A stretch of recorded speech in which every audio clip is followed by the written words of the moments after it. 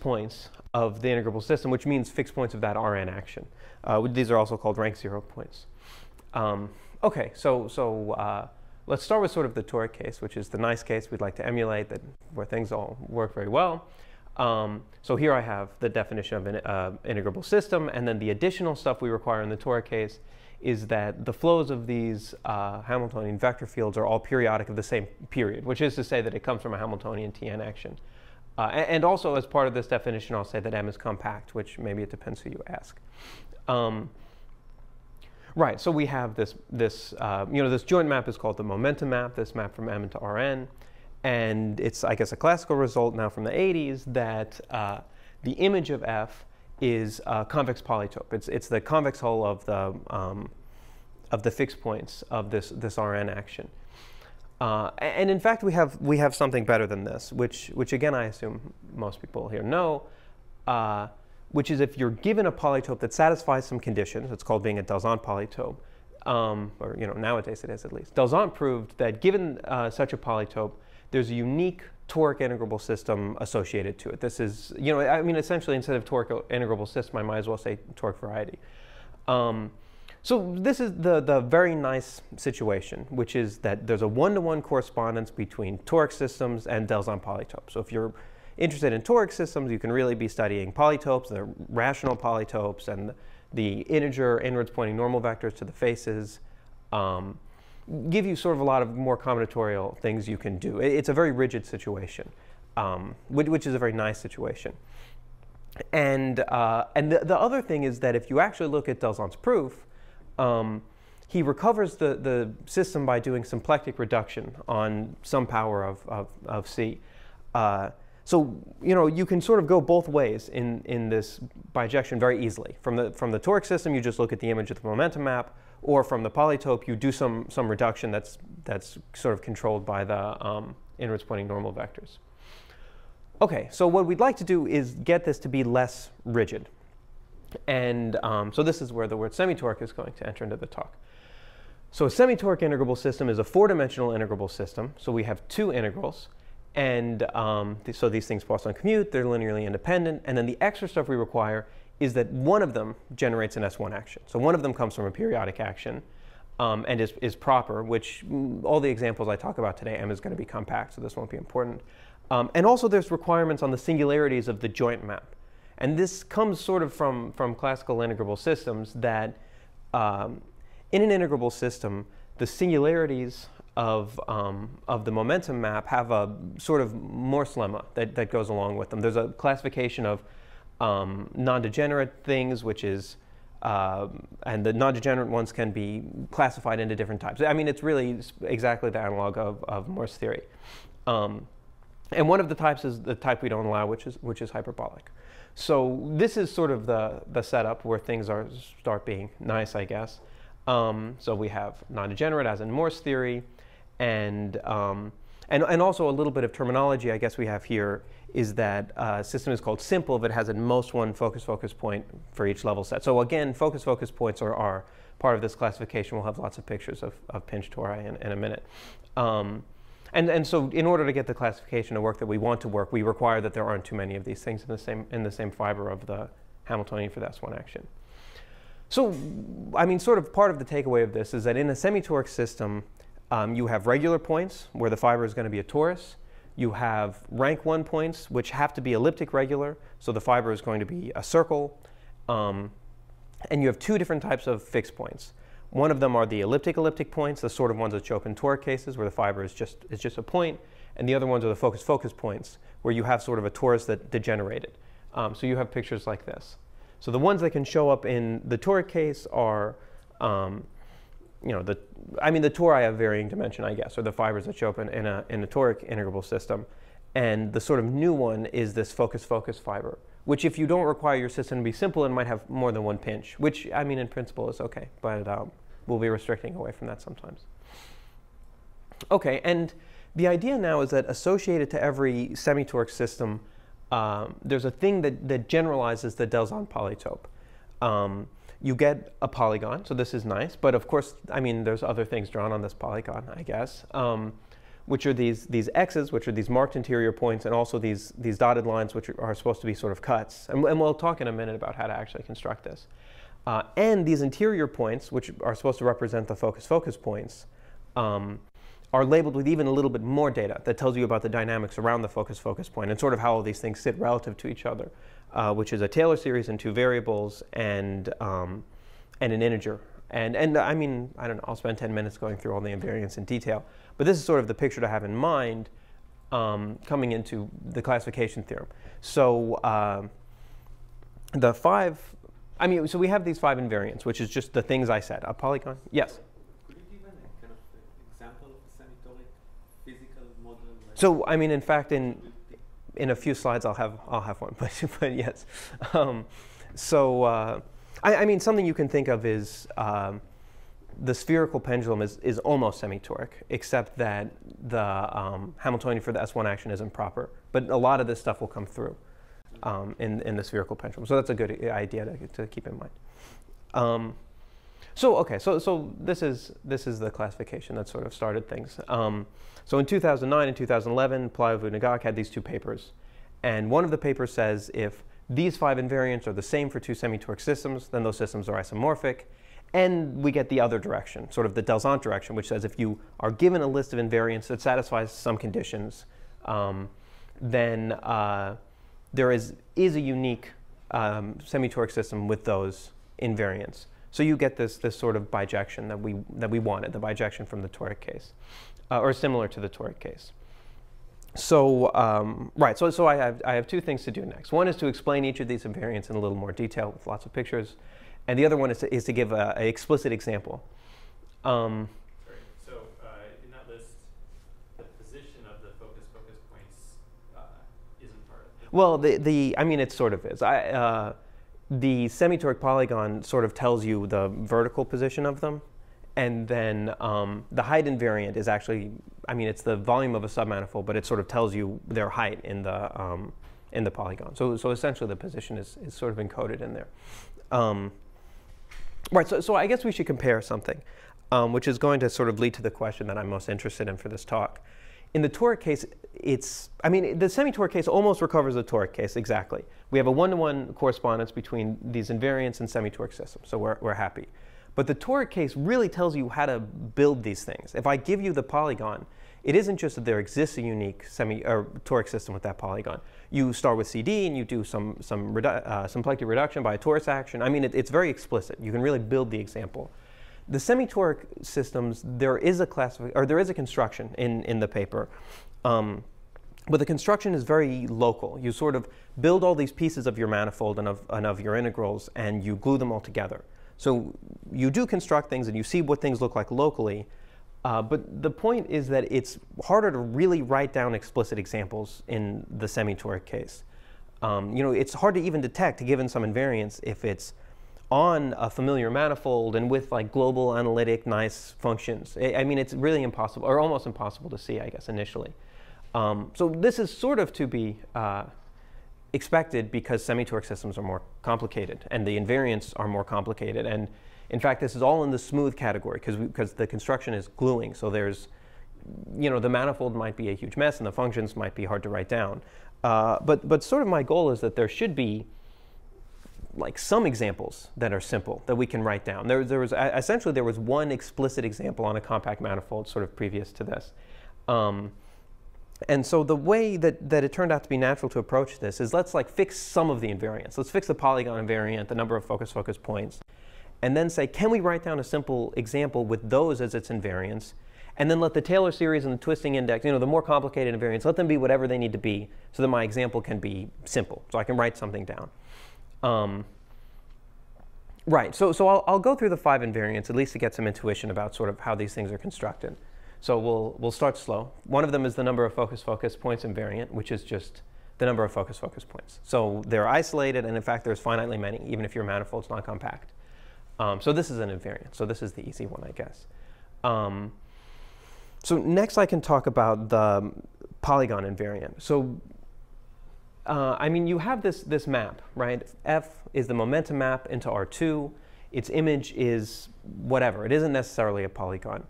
Um, and, and so here I have the image sitting in, um, sitting in R2, I guess, and it has the image of the focus focus point is this little x. And um, you know, just looking at the fibers over this map, you get a, a Lagrangian torus fibration of, of M, of your manifold. Um, and, and I mean, I guess this idea goes back to Duistermaat. Having a Lagrangian torus fibration gives you um, an affine structure on the base space. So, um, right, so, so we have a, an affine manifold, which is the base. And uh, but it, it's, I mean, it's not useful to you, I guess, as it is. The, the, sort of the secret, the reason things are so nice in the toric case is that the affine structure of the base space is equal to the affine structure of Rn that it's sitting in.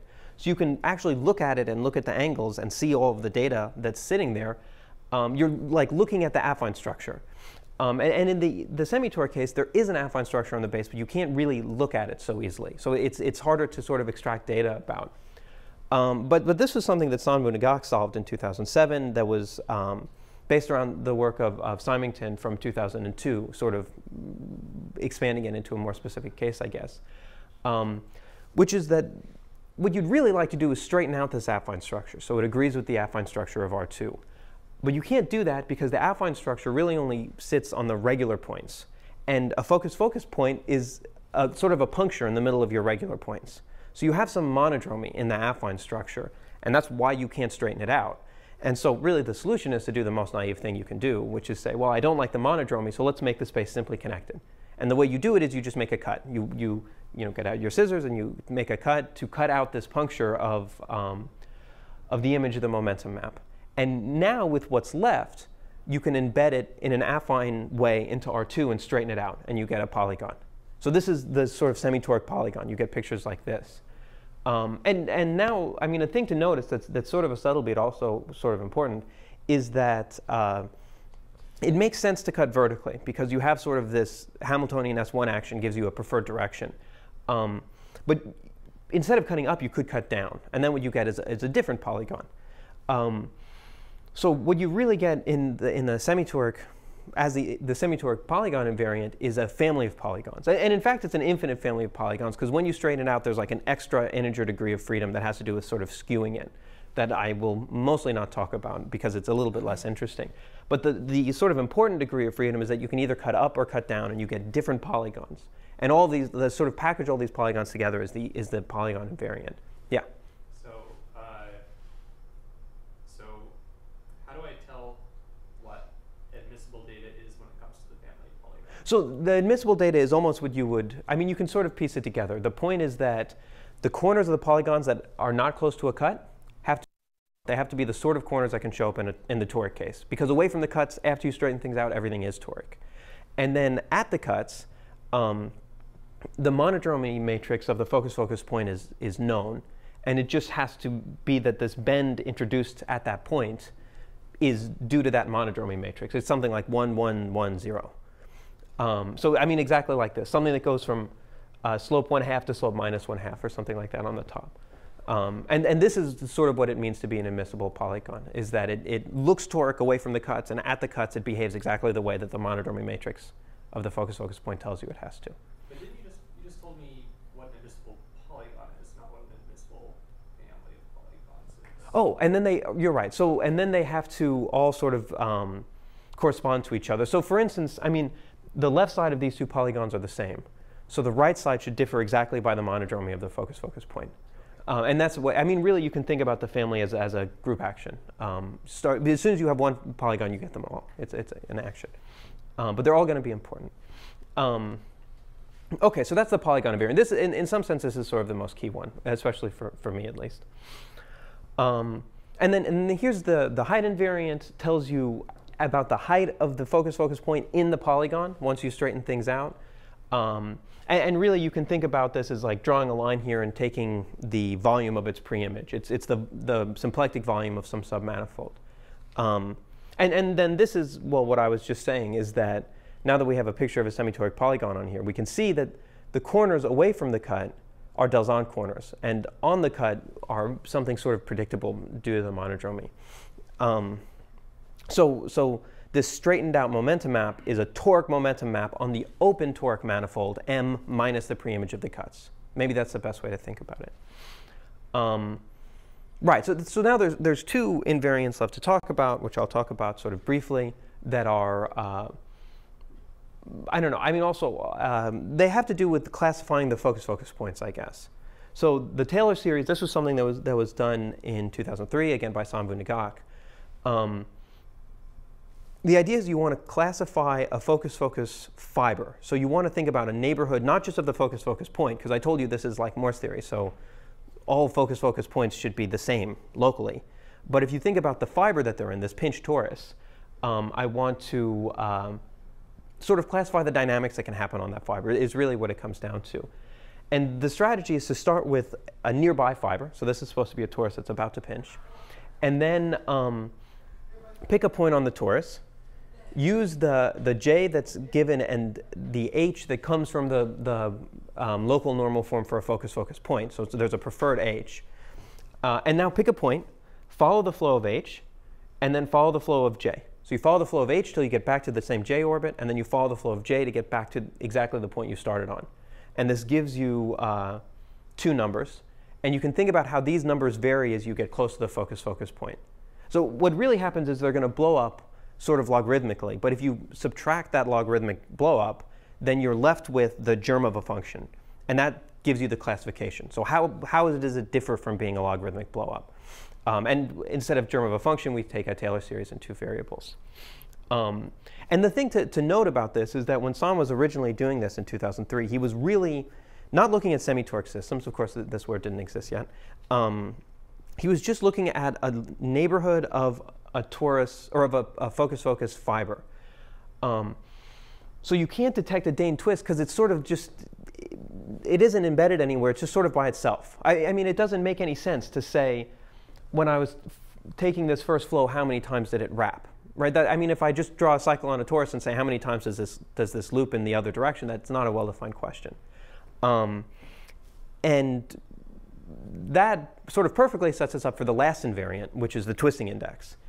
And a way to think about that is as soon as you choose a polygon, you make the cuts, you choose a polygon, that gives you, away from the cuts, a toric momentum map, which the flows of those, those toric, um, you know, the, the, the momentum map components or the, the toric momentum map that let you define the polygon give you something to compare this cycle against. So I'll call this cycle gamma, and um, you can compare that cycle against sort of this background toric cycle, this, this now this purple picture here. Um, and now you can say, oh, given this polygon, how does the dynamics around the focus focus point twist around the torus? And this gives you sort of, uh, this gives you an integer. And so this integer is the twisting index. So the twisting index is, is sort of a, a really subtle invariant. It's already kind of hard to define. And also it's, I mean, I say it's an integer, but really it's an integer once you choose a polygon. So there's all of these different polygons you can choose, and depending on the polygons, um, you get different integers. It's like an assignment to each polygon. There's an integer.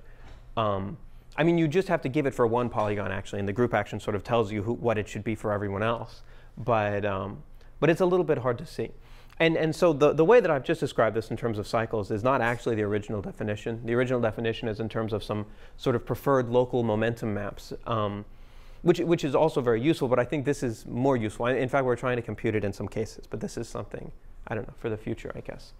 Um, okay, so th those are the five invariants. Um, and now what I can do is I can give a, a really explicit example. Um, and the example is the coupled angular momenta. So this is, the, this is due to Sadovskii and Zhilinskii in 1999. And the idea is you take um, you know, two spheres, I, am writing them as unit spheres, but, but this R1 and R2 are really supposed to be the radius of the sphere. So you have two spheres of different radii, and um, let's give them coordinates as with the usual embedding into R3. And, uh, and now these are the two integrals we're going to take. So j, the first integral, is supposed to be the, the periodic one. This is the, just the sum of the heights. So the action of this is rotating both spheres at the same time. Um, and h is sort of a convex combination of two different things. So really, the coupled angular momentum system is really a family of systems, depending on this parameter t. If t equals 0, then h is just z1. And so you have as one of your integrals rotate both spheres, as your other integral rotate just one sphere. And that's a toric system. And uh, as t, you know, when t is equal to 1, that term is gone, and you just have this dot product between your two vectors. So that really means that you know the, the sort of invariant here is the, the angle between the two vectors as you as you rotate them. Um, right, and the point that I'm about to care about is north pole south pole, so I'll call it ns. So it's just the top of one cross the bottom of the other one. And sort of the um, the result here that we that we care about is is sketched in in uh, well, sort of stated in, in Zhilinskii's original paper in 1999, and proven, uh, along with many other things. They, they computed all the invariants, actually, in a, in a paper of Le Floch-Pelayo in, in 2018. Um, and the idea is that there's two different times, so that for t less than t minus, you start with, I mean, for instance, you start at t equals 0 with a toric system. There's no focus-focus points. But then if you increase t a little bit, it stays like that. There's no focus-focus points. And then for an instant, at North Pole, South Pole, you have a degeneracy. And then as you continue on with T, you have a focus-focus point. So, and that focus-focus point is at North Pole, South Pole. So you have a, this, this pinch torus fiber that shows up. Uh, and then you continue, it becomes degenerate, and then that point becomes elliptic, elliptic again. So there's like a transition going on on that point. So this is, I have sort of a fake animation, um, which is, this is the image of the momentum map when t equals zero. It's the toric system. Uh, you increase t a bit and it deforms a little bit, but it still has zero focus-focus points. You increase t some more, and one of these points sort of jumps off of the edge. So this used to be an elliptic-elliptic point, um, but now it's in the interior, its fiber is, is a pinch torus. And then it sort of runs across the momentum map until it crashes into the bottom. So the um, so we have this one parameter family of, of systems, and th this is, I think, a, a, good example to think about for semi-toric systems. Um, so I think I have a picture now of it. Right. So th this is a picture of it all together.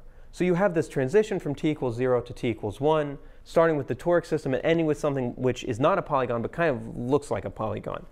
Um, so OK, so there's one thing. And yes? Uh, is this sort of representative that you can always deform a semi-toric system so that the focus-focus points becomes vertice, vertices of the toric system? So this is, I mean, this is, uh, um, in a lot of cases, you can do something like that. This is sort of my my goal is to see when we can do this. Um, it's a little bit different. I, I, mean, we'll talk a little bit later, I guess, that this corner is, is a very special corner. L let me draw one more picture uh, first, which is that we have this deformation between the two systems. The semi-toric system lives in the middle. Um, on the other hand, you could take, for instance, t equals 1 half. That's a semi-toric system. And I can have some affine structure and straighten that affine structure out. I can do the stuff that I was doing 10 slides ago um, and make the semi-toric polygons. And it turns out that the semi-toric polygons look like this. So now this should be a very sort of leading slide that um, one of the semi-toric polygons looks exactly like the momentum map image for t equals 0. And the other semi-toric polygon looks kind of like the momentum map image for t equals 1. So to find a semi-toric system with some semi-toric polygons that we like, you might want to try and transition between two different systems that are somehow associated to those polygons. And, and so this is sort of what motivated the project, is I, I have systems with certain polygons that I want to write down. And it would be nice if I could somehow use those polygons to predict a transition like this that would, would make it so that when I set t equals 1 half, I have that system that I want. Um, it turns out, I don't know, it turns out it was, it was harder than I thought it would be. But this is the idea. Um, and, and so with this in mind, we make a definition, which is essentially we're going to just try and generalize the um, uh, coupled angular momenta. So a fixed S1 family is just a family of, of, two or four-dimensional integrable systems where the momentum map has just a fixed S1 action and the other integral is allowed to change um, smoothly with some parameter t. So it's really just like the coupled angular momenta. And a semi-toric family is one of these systems which is semi-toric for all but finitely many values of t, where potentially some sort of transitions happen. So you have a, a family of semi-toric systems that are, are changing as t changes and undergoing some, some sort of transitions at, at what are called degenerate times. Um, and, and the reason I call them degenerate times is because of the first thing I'm going to write down here, uh, which is that a semi-toric family never has any hyperbolic points. This, uh, I don't know, if you're thinking about things kind of like Morse theory, this makes sense, that if you have a Morse function with a hyperbolic point and you perturb it a little bit, um, it will still have a hyperbolic point. These, it's kind of an open condition, I guess, is, is the point. Um, and so if it's semi-toric for all but finitely many values of t, yeah.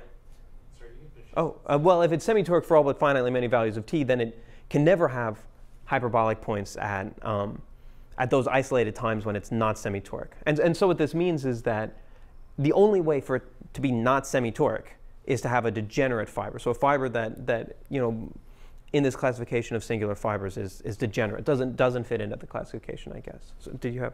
Yeah, so you don't, do you require anything at the degenerate times? So at the moment, no.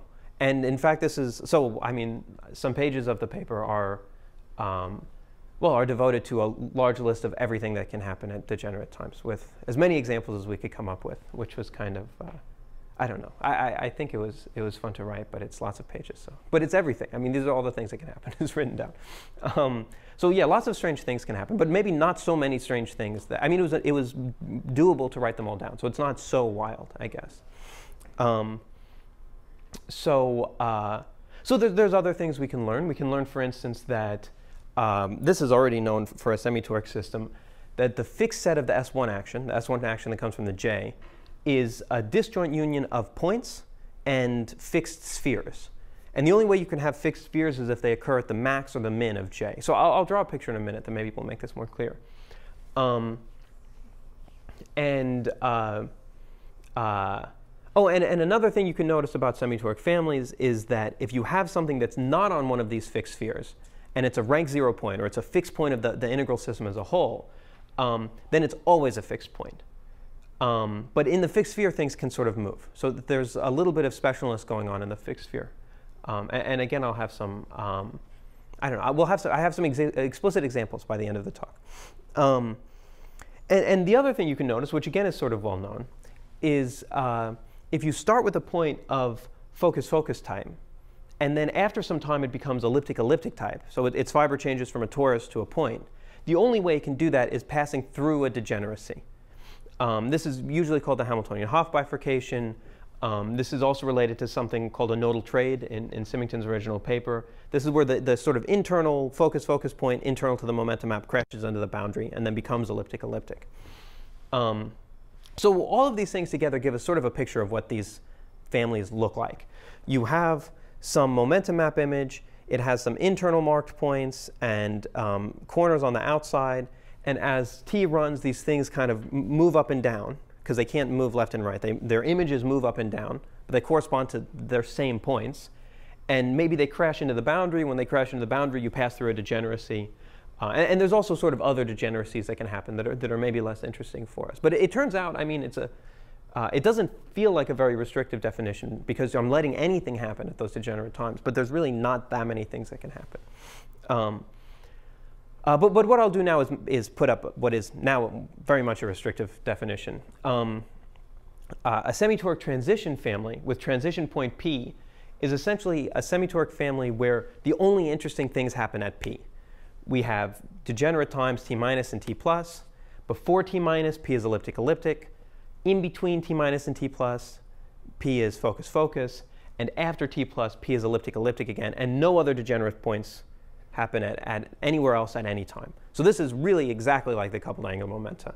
And things we can notice is that, well, from the previous slide, we know that um, this point has to be degenerate at t equals, um, at, at these degenerate times because it's transitioning between types. And we know the other rank zero points can't change time. So if you have five focus focus points for t less than t minus, you're going to have six for in between, and then you'll have back to five. Nothing else is happening except for this point p. Um, and the example to keep in mind is exactly the coupled angular momenta. So this is sort of the setup to generalize the coupled angular momenta and hopefully use other polygons and get other examples of semi-toric systems on compact manifolds that were not known. Um, so, uh, right, and sort of to get a picture of what's going on and, and to try and come up with these, these examples we want to come up with and, and understand what's happening, a really good thing to do is to reduce by the S1 action. So we have this, this Hamiltonian S1 action. We can do the symplectic reduction, which I'm reminding you here is uh, you fix a level of your Hamiltonian J, and then you mod that level out by the S1 action. And, uh, and now I can, I can sort of say that if you're at a regular value of J, um, having a non-degenerate point in the integrable system sense is exactly the same as h descended to the reduced space being a Morse function. This is why this is sort of a natural definition. I mean, the actual definition of non-degeneracy for um, uh, singular points of integrable systems has, has to do with the, the Hessians of, the, of H and J spanning a Cartan subalgebra of quadratic forms. I mean, it's kind of a dense definition, but this is essentially the idea of it, is that it should be like Morse. Um, so now we can ask, in a semi-toric system or a semi-toric family, um, what does a reduced space look like? So first, if you're at the, the boundary, so you're thinking the far left or far right side of the polygon, uh, the only thing that can happen is that the reduced space is either a sphere or a point. And, and this is exactly the fixed sphere or the, the fixed point. Because if you have a fixed sphere and you do reduction at that, at that level, you still, I mean, there's nothing to reduce, right? There's no S1 action. Um, but OK, that's, that's one of the cases. The other case is what if you take any value of j which isn't the boundary? And the point is that the, simple, or the reduced space is always homeomorphic to a sphere, but only sometimes diffeomorphic to a sphere. If you're at a regular value of uh, the S1 action, then you get, you know, you actually get a sphere. You, you get diffeomorphic to a sphere. But if you're at um, a point for which dj equals zero, so a fiber, for instance, that includes a focus-focus point or an elliptic-elliptic point, then, um, well, then something more complicated will happen, which I have some pictures of. Um, but, but first, this is sort of the not singular case. So if I reduce at this level, this orange level, I get a sphere, a sphere, which is the fixed sphere. If I reduce at this blue level, I get a sphere. Um, the green level has sort of a smaller sphere, and if I reduce, for instance, at um, at this very corner point here, I just get I just get a point. Um, okay, but what happens at uh, at the not regular points, which are sort of the interesting ones, which is that uh, you get a teardrop or a pinch sphere. So you get one of these spheres, but there's little pinches that correspond to the fixed points of, of j. So you get a picture like this.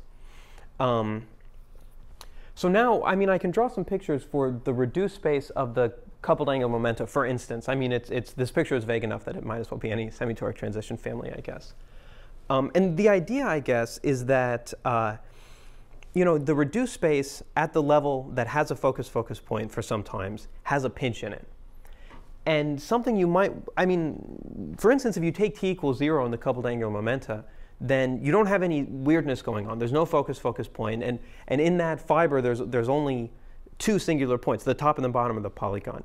And sort of the, the way that I think about this is that you took the pinch point, the, the point that could potentially be causing problems and making weird things happen, and you sort of hid it under a critical point of h that had to be there anyway. Which is to say that, that the reduced h is a Morse function on this sphere, um, or well, this is, this is a pinch sphere, so it's not really a Morse function. But it's a function on the sphere, and it's going to have a max and a min anyway.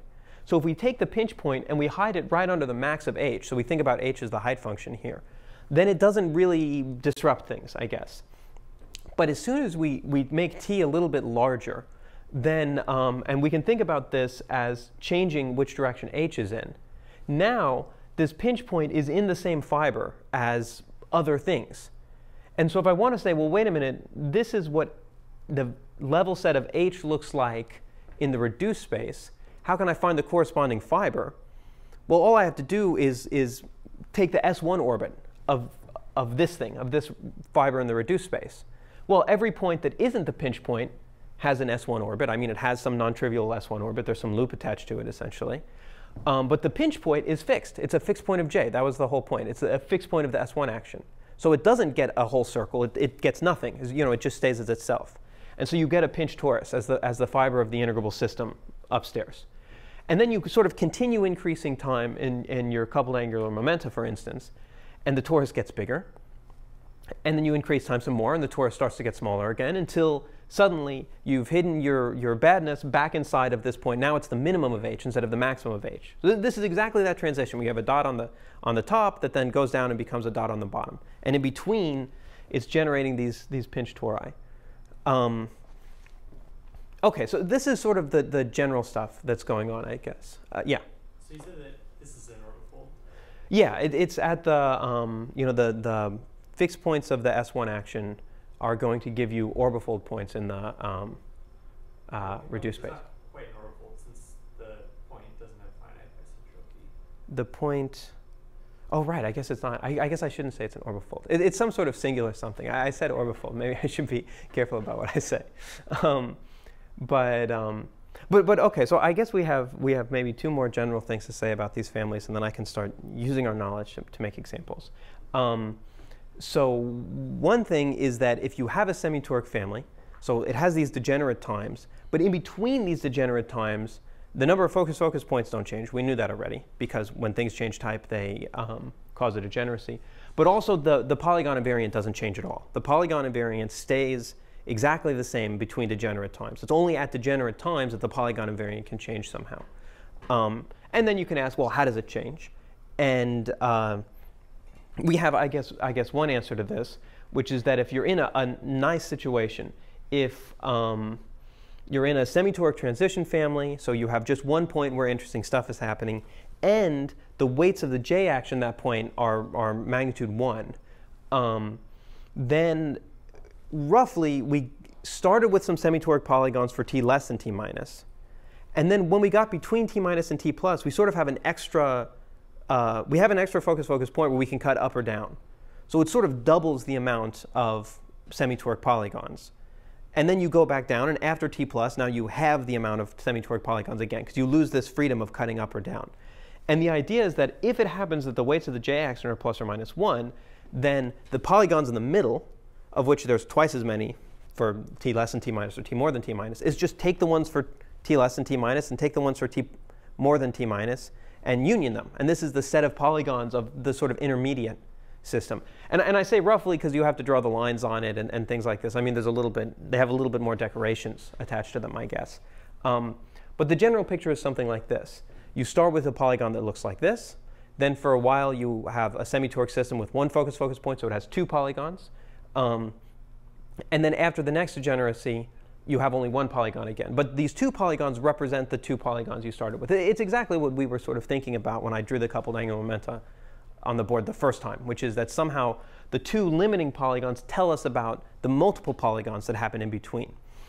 Um, and, and so this means the, uh, I guess, this means the, the strategy we want to work is, is a reasonable thing that might work. Um, so the idea would be, and in fact, this, these polygons are the first example I'm going to look at. Uh, I want a system with these polygons in the middle as their semi-toric invariant. What I do is I write down a system with this first polygon as its, as its polygon, and I write down a system with this other polygon as its polygon, and I try to figure out a way I can transition between them to find the semi-toric system uh, in between. And so, well, if you're looking at these polygons and I say I want something that starts with t equals 0 with this polygon, then um, you should think about the Hirzebruch surface, which is exactly what we thought about.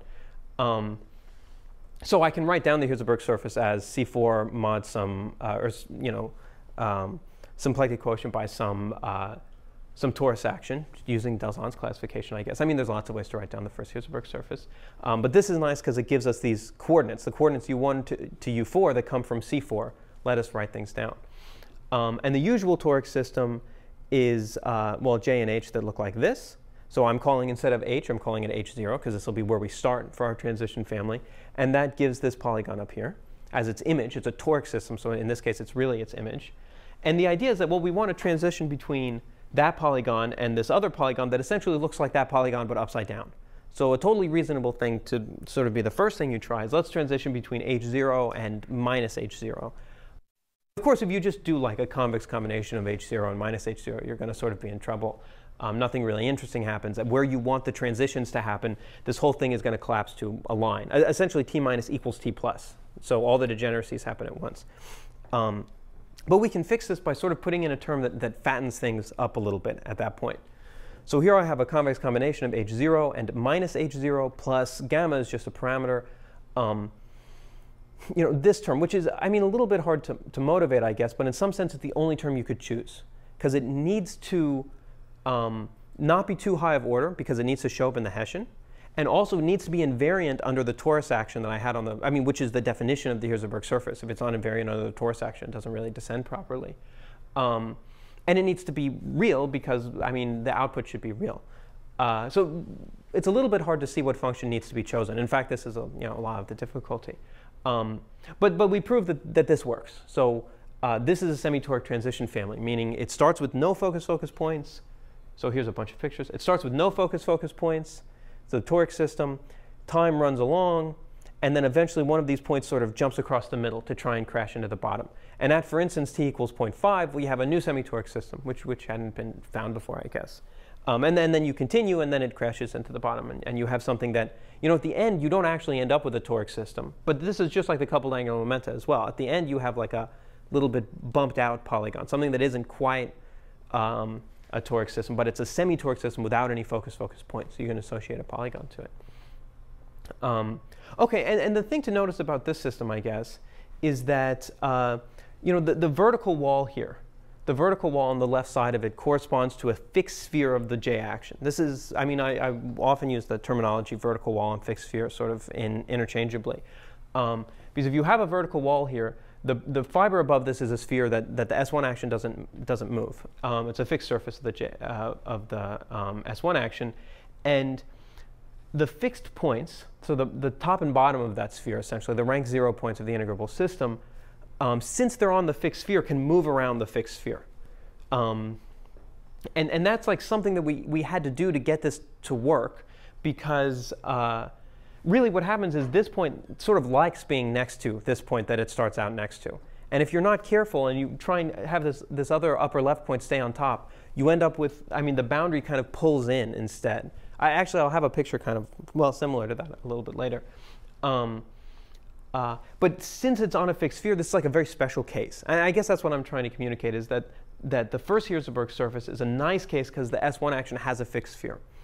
Um, and in fact, we came up with another semi-toric family on, uh, on the first Hirzebruch surface by just putting in a factor of j here that really undoes what I just said. They no longer have the fixed points moving on the sphere. The same points stay fixed, but they still switch sides. And in just in this case, they pass through each other. Um, so you have this purple point on top and this green point on the bottom. As you run along, eventually they collide, and then your whole sphere turns upside down. So you, you see that, that at every case, that the, the red point is sort of adjacent to the purple point. It like comes with it. And again, this is sort of exploiting the fixed sphere. So the sort of the point, I guess, is that systems with fixed spheres were a little bit easier to deal with. Um, so, and, and yes, the, at this point, the whole sphere collapses. And this is one of the, when we were enumerating all of the possible degeneracies, this is one of the ones. So you have a fiber that, that collapses, and the whole thing becomes at the same height. Um, Okay, and, and, I'll have one more example, which is not a semi-toric family, but it has some nice pictures and it's sort of indicative of what I'm getting interested in for the future, um, which is a system like this. So you start with an elliptic elliptic point. As t increases, it becomes, it actually is focus focus for a little while. It leaves the boundary. Um, and then at some point, one parameter families of, of rank one points start coming out of it. And these are the hyperbolic points, so the points that are disallowed in semi-toric systems. Um, but really what you have here is you have this sort of hyperbolic triangle, which is a, a kind of typical picture. Inside of the triangle, the fibers aren't connected. Um, and the boundary of the triangle, one of the boundaries is where the fibers become connected. You sort of have two tori crashing into each other. And the, the other fiber is like, uh, is elliptic, elliptic, or sorry, elliptic regular points. It's sort of like you have a boundary. It, the red point becomes um, elliptic elliptic there. It's almost like it's it's in its the nearby components. It's it's in like the corner of a momentum map, I, and then it sort of jumps off of the edge, and, and some interesting things happen. So this is. I don't know. This is what I want to work on now. Is, is thinking about hyperbolic points. It, it's much. It's, it's a little bit more relevant for more physical systems if you have hyperbolic points. It's a strong restriction to not have them. Um, but okay, so we'll leave that. We'll leave that there, I guess. Um, Oh, and this is similar to something that, that Holger uh, Dullin and Alvaro Pelayo did in, in 2016, where they took a focus focus point and changed it into a hyperbolic, sort of replaced it with a hyperbolic triangle. Uh, but everything they did was local, and this is sort of global. So it, it's a little bit different of an example, I guess. Um, okay, so I have, I don't know, 13 minutes. And in these minutes, um, I'm going to essentially do two things. One is I'm going to motivate some, some examples that I want to find. So, so far I was just finding examples because I don't know, because a year ago there was only one compact example. Um, uh, but, but now I want to say, understand examples that are motivated by um, sort of semi-toric minimal models project and uh, or program. And I'm going to, you know, come up with some partial information about their invariance and say, I want to find these systems, and then try and use these strategies we've been developing to find those systems. And then those, so those are the two things I'll do, and then it'll be 4.30 and I'll be done. Um, right, and, and so the idea is that you know, this map, this straightened out momentum map, F, you know, sort of straightened out to fit the affine structure, away from the cuts, this is a toric map. Um, you know, it looks like a toric integrable system. So if you can do a blow up on a toric variety, then you can do a blow up of this, an you know, T2 equivariant blow up, I guess. Um, and so the goal is, well, if I can do a blow up near the elliptic elliptic points of a, of a semi-toric system, then let's try and find the systems that don't emit blowdowns. Um, this is usual minimal model stuff. And, and of course, the reason we care about this is then every system can be made from these by doing a bunch of blowups. So, so the things we want to understand is the minimal models and the operation of doing blowups. Um, and as in the toric case, as long as you're away from the cut, the um, blowups correspond to a, a, corner chop. And, and in fact, I mean, maybe I should have included a better picture here. Um, lots of sort of strange things can happen in, in the semi-toric case. For instance, you can make this blow up bigger, big enough that it actually touches the cut, because the cut doesn't really represent anything real. I mean, this corner that you see at the top of the cut like isn't really there. There's not an elliptic elliptic point there. Um, it's just sort of an artifact of the polygon you happen to choose. I mean, in fact, you might as well have just chosen the cut down. Um, so, uh, so the sort of combinatorics of what the polygons look like as you do blowups of different sizes is a little bit more complicated. Um, and, and in fact, here's, a, here's sort of an example. If you have a, a polygon like this, it doesn't look like you can do a blowdown because clearly you can't really like fill this in because there isn't even really a corner here. Um, but then you realize if you chose one of the other polygons, cut the other direction, now this does admit a blowdown actually. I mean, it's, you know, you can check that that corner is smooth. Um, so it's sort of hard to see what's going on. And then sort of the initial thing that you would want to try to do maybe is emulating the toric case, think about, um, you know, you have a uh, Delzant polytope. We can think about the fan, which is the integral inwards pointing normal vectors, and, and do some, I don't know, do some math with those. Uh, but essentially, if you take the integral inwards pointing normal vectors of this, it's, it's going to be sort of a mess because there's I mean, really, the integer, the inward pointing normal vector of this edge and of this edge sort of should be the same because this, this corner isn't really there. Um, and, and so this was uh, a problem I solved with Daniel Kane and Alvaro Pelayo uh, a few years ago. And we defined something called the semi-toric helix. And the idea is that every time you have a corner that shouldn't really be there, just straighten it out. And uh, you end up with, instead of all of the inwards pointing normal vectors, you straighten out the corner that, that doesn't really mean anything. You throw away the interior of the polygon because you don't really care about that anyway. Um, and then you continue. And, and actually, if you, if you kept continuing like this, you know, you would keep making corners and corners and corners and corners. Like you don't, instead of following the boundary of a polygon and getting back where you started, you follow the boundary of a polygon that doesn't close, and then you can keep going, which is why we call it a helix. So you actually get sort of an infinite circle of, um, uh, of, of, these integer vectors. And uh, I, I, mean, I don't know, there's lots of subtleties here. It takes a lot of effort to explain it all. But the idea is that by transitioning between sort of of these vectors with, with matrices in SL2Z, um, you can um, try to classify these. In fact, you sort of need a, a, universal cover of SL2Z. So there's some, some algebraic stuff that happens here. Um, uh, but, but then you get a result. And the result is that, uh, I mean, the point is that. Would you mind to go back just one second? Yeah. What does it mean, this uh, arrow going from left to right? So, how, how so I mean, what I mean is that, uh, maybe I can draw on the board. Um, you know, I started with uh, a polygon that looks like this. But what I really want to do is start here, go up, go over, but this corner isn't really there, so let's just pretend it's not there. And now this one has a certain angle associated to it. And then um, now I'm not back where I started, but let's just sort of keep going. And you get, you know, you sort of go like this, and you, I mean, it turns into sort of a mess, but the idea is that if you take all of these inwards pointing normal vectors, then you have, um, you know, uh, a bunch of uh, well, I mean, you have um, a bunch of vectors like this so that sort of the any subsequent two of them span z2, which is what you want, which would not be true if you allowed these sort of messed up corners. And after you, uh, you know, after you repeat four of them, you're not back to where you started, but you're back to where you started up to uh, the monodromy matrix of the focus focus point. And so this is sort of taking this polygon and saying, okay, I'm going to unwind it, and then I'm going to just write some of the vectors, because really it goes on infinitely. But actually, if I give you three, that tells you everything, because we also know the monodromy. The monodromy is, is this to the, the number of focus focus points. Or maybe, maybe the transpose of that. I don't know. um, does that make sense? Um, so you recover this thing that you can, that you can use SL2Z.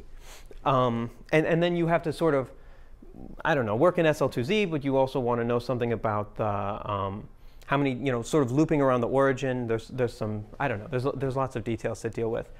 Um, but, but in fact, you can, you can classify them, I guess, is the point. And, um, uh, and you come up with seven different families, which are the ones that do not admit uh, blowdowns. Because once you, I mean, once you unwind it, then checking if something emits a blowdown is very easy, um, or relatively easy, I guess. Um, and so you have these seven families. I've drawn six of them. The seventh one is, is much more complicated. It has more vectors, uh, but also is, is more or less explicit. Um, and so the idea in my, well, now in five minutes, I guess, the idea is, um, is to try and find examples of these families. And in fact, I'm, I'm going to, in the interest of, of time, I'm going to skip a, some important detail, which is that we can notice that system, well, 4, 5, and 6 have this rightwards pointing vector as, as in their helix, which means their polygon has a vertical wall in it, which means their S1 action has a fixed surface, has a fixed sphere. Um, and actually, it turns out that there's, there's sort of another surgery you can do um, called a semi-toric blowdown by, well, by some people, I guess, that um, is sort of implicit in, in Symington's work and uh, is made more explicit in uh, a paper by Hohloch, uh, Sabatini, Sepe, and, and Symington um, that isn't out yet. So I, I, won't give I won't give a bunch of details about it because it's kind of from the future. But the, but the point I guess is that um, is that four through seven are, aren't really that minimal. One, two, one, two, and three are the ones we're most interested in. I, I guess this is this is the motivation. Um, and so I can, from the polygons, try and write down the, or from the helices, try and write down the polygons um, and they look like this. And type 1 actually, uh, Const uh, Konstantinos Evstathiou uh, told me that he knew about a system with, uh, with this as its semi-toric uh, polygon after I, after I gave a talk some, I don't know, six months ago. Um, so, so he solved that part for us. Um, and, and that's on CP2, which, which is, again, sort of something you would expect, because the t equals 0 system looks like a triangle, which might make you think it has something to do with CP2. Um, and so what we have to find is these last two examples. And, and I can sort of sketch what these last two examples, what they look like. And, and this, is, this is my goal for the rest of the talk. Find a, an explicit system of type 3 and an explicit system of type 2. And it would be great if these things were semi-toric families because that's what I happen to be interested in at the moment. Um, so for a minimal system of type 3, we want a polygon that looks like this. And we actually already have one example of something of type 3, which the couple angular momenta, the second to last time I'll have you think about it, I guess, um, is minimal of type 3 with k equals minus 1, because its, its t equals 0 system was this, this parallelogram. Um, and, uh, and, and something we notice, and which is of course important for the minimal models program as well, is that if you with a semi-toric family and you do a blow up on each member of the family or a blow down on each member of the family, then you still get a semi-toric family, which, which in fact this lemma is much harder to prove than it sounds like it is. Because in principle, the manifold you end up with has to do with the fibration you used in the blow up, so you have to sort of identify things, but, um, but it works. Um, and I mean, the idea here is we should look at the nth Hirzebruch surface, which has a polygon that looks like this. Um, but we don't really like this. In fact, because the S1 action associated to this none of the um, points have uh, plus or minus 1 as their, as their weights. And um, you know, if I tried to draw a dotted line under this, it wouldn't be Delzant because this corner, or it wouldn't be a semi-toric polygon because this corner would be not the right type of corner. But we can do a little bit of trickery, which is just add h once into j. And now it looks like this. And now this corner is exactly the kind of corner we like. It's a corner that looks just like the corner in the, the couple angular momenta where I can draw a dotted line under it or not. It's sort of a special kind of corner, the only thing that can exist with a, with a cut under it or not. Um, and it has these, these j weights that we like, plus or minus 1. Uh, so this is the polygon for the nth Hirzebruch surface, and now in, in 30 seconds we can solve this problem. Uh, we start with the coupled angular momenta, the system we already know, a, a semi-toric family, in fact. We do a blow up on that family, and then we do a blow down on that family. And now we have something with the polygon we want on the first Hirzebruch surface. Uh, and then we do a blow up of that family, and then we do a blowdown of that family, and we have the polygon we want on the second Hirzebruch surface. And then we continue, and we get the polygon we want on the, the third Hirzebruch surface. And so the idea is that um, a semi-toric system which is minimal of type 3, so that type 3 minimal system, exists on the k plus first Hirzebruch surface, and it's not quite explicit. I don't have formulas written down, which is sort of unfortunate. Um, but it's unclear if there's formulas like this even exist. I mean, we, we I worked for a year trying to write them down. Um, but, uh, but it's sort of explicit in the sense that you, know, you, you understand that you start with the coupled angular momentum, you do blow-ups and blowdowns away from the focus-focus fiber. So sort of what's going on near the focus-focus fiber should be the same. Um, so this almost solves my problem. And in fact, I guess I can, uh, I can spend two minutes and solve my last problem, uh, which is that we have one more system I want to find, the, the minimal system of type um, of type 2. And, and, this is a nice system. It, it's really interesting um, because it has two focus-focus points. And this, this twisting index invariant, which is sort of the most mysterious invariant that I mentioned earlier, uh, can really be understood in terms of how these focus-focus points, how the Lagrangian fibration nearby them sits relative to each other. So it's nice if you have an explicit example with two focus-focus points. Uh, and now this is the last time I'll have you think about the coupled angular momenta, which is we look at the coupled angular momenta and we think it would be really great if not only could we bring in the first point, but we could also bring in this second point. And then we would have exactly this polygon and everything would be fine. And um, well, and, and, essentially this is what we did. I, I, mean, I can tell you exactly what I did, which is that we generalized h as much as we could. h, this is like the h from the coupled angular momenta, except I added in a new term with z2 because I want the, the point on the second sphere to be going inside. This sort of makes sense. And it turns out you can uncouple the, um, I don't know, the, the sort of h, the, the second part of the Hamiltonian. And then what I did is I just put this in my computer and I made it check millions of Hessians to see if any of them looked like they were focus focus. And it's not a very satisfying answer, but I'll have a satisfying answer before the end. Um, but then my computer indicated to me that, that um, if I took parameters a quarter, a quarter, a half, zero, then this should be um, this should be a semi-toric system with two focus-focus points. And I didn't really trust my computer, so I did a bunch of calculations. It turns out my computer was was right, so so everything's verified. Um, and, and, this, I mean, th this really solves the problem, but it doesn't write the system as a semi-toric family in terms of parameters and in terms of transitions, which is what I like to do. Um, and so uh, what I'm going to do is define now four Hamiltonian, uh, different Hamiltonians. Um, you know, the, the dot product, Z1, Z2, and this, I don't know, dot product, but with a minus. And I can write a new Hamiltonian that has two parameters, that is a convex combination of convex combinations of these four things. Um, such that the system that I cared about from the theorem a second ago is sort of the central system, the one half, one half system in this, in this um, I don't know, convex combination of convex combinations. Uh, and then I can draw two pictures and then the talk will be over. So the first picture is that if you started with a minimal system of type 2, the four polygons should look like this. Because we have two focus focus points, we have up, up, up, down, down, up, and down, down. So you have all these cuts we can do. Um, and now what I can do is take you know, this h that depends on two parameters, a convex combination of convex combinations, and I can just draw the momentum map. Um, if I have uh, 0, 0, I get the toric system. If I let S1 increase, I get the coupled angular momenta system. If I just leave S2 at 0. If I let leave S1 at 0 and let S2 increase, I get sort of this other way coupled angular momenta where the other uh, point is the one that transitions. And then if I fill in all of the other things, uh, I get this, this picture that I really like, which is all of these transitions that are happening. Um, and, and right in the middle is this system, the one half, one half system, which is a system we care about. So here in the middle is an example of the system that has um, uh, well, it, it's a system which is minimal of type 2. It has two focus-focus points and we can write it explicitly as a combination of, um, of systems that, that come from the polygons that, that this system has. As, you know, it's, it's, sort of affine polygons. Um, okay, so I, I, went three minutes over, and I apologize, but uh, the talk is over.